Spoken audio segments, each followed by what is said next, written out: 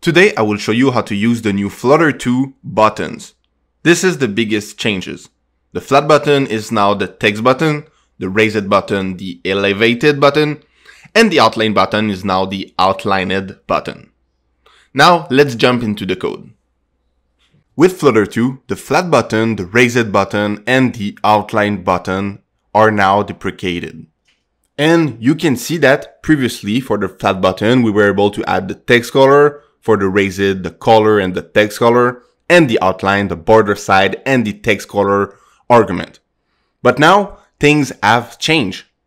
And I will show you inside this one how to add the new buttons. First, to replace the flat button, we will use the text button. Second, the raised button has been changed for the elevate button. And third, we will change the outline button for the outlined button. That's good. After that, how are we going to add the colors for our button? Because the argument have changed.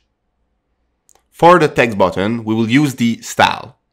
Inside the style argument, we will recall the name of our button, we will say dot style from, and then we will be able to use the primary. For the elevated button, we will use the style again, and we will recall the name of our button, elevated button, dot style from. We will use the primary and the onPrimary to change the colors. The outline button works the same.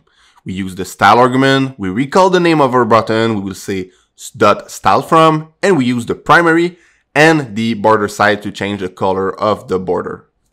You can also use the minimum size.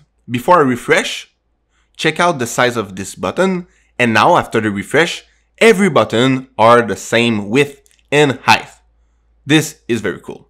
And you can use it just by calling size and putting the width and the height. So that's it for this one. Also, if you want to know the 7 best tips with Flutter, check out this video. I'm sure you will absolutely love it. See you on the next one. Peace.